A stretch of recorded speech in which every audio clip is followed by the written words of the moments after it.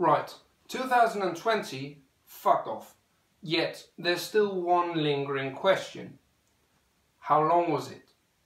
Logically, it should be just around the length of any other given leap year.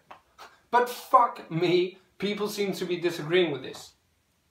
You see, all I ever hear is the majority of people claiming that, without the shadow of a fucking doubt, 2020 has been the longest year throughout the history of bloody years. I think even Spotify jumped on the bandwagon and in their 2020 Wrapped stated that they hoped everybody got through 2020 just fine and all of its 67 months. Keep in mind, this was early December with a fucking month to spare. But fair enough. I'm a little retarded. Perhaps I was half asleep throughout the entire thing. I don't know.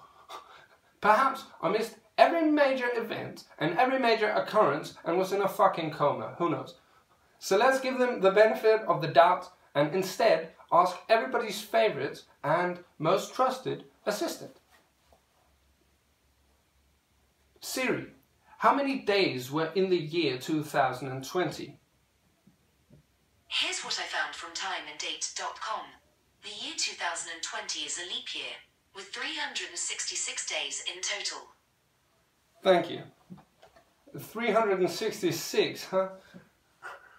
Hang on, that's rather peculiar. That almost seems like the regular amount of days for a leap year since leap years were first introduced into our bloody calendars.